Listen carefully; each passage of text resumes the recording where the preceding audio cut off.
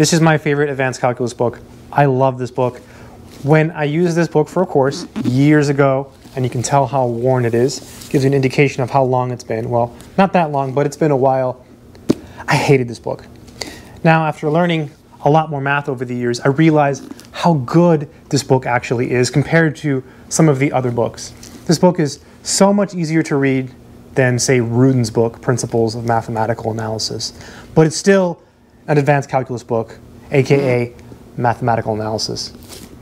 I think this might be one of the easier books to read. Let me know what you think in the comments below.